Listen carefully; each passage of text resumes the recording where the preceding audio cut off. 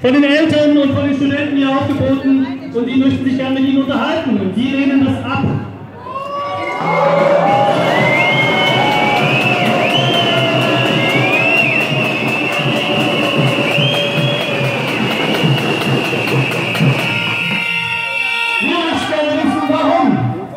Warum. Lehnen Sie den Dialog ab? Sie geben vor, in Ihrer Antwort auf unsere Anfrage, dass Sie keine Zeit haben und auch keine Lust, sich hier mit den Bürgern Konstanz zu unterhalten, die mit den Maßnahmen ein großes Problem haben.